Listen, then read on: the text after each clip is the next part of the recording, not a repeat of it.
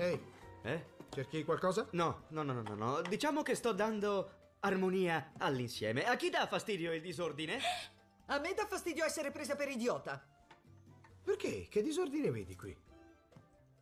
Non è simmetrico. Bah, se non si vede non ci si crede.